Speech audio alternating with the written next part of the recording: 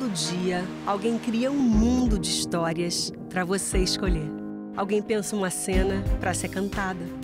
Alguém conta uma história brasileira para você ver que ela podia ser sua. Alguém faz humor, drama, suspense, romance para combinar com o seu momento. Todo dia, alguém cria um mundo de histórias para merecer o seu olhar. De talento em talento, a emoção acontece.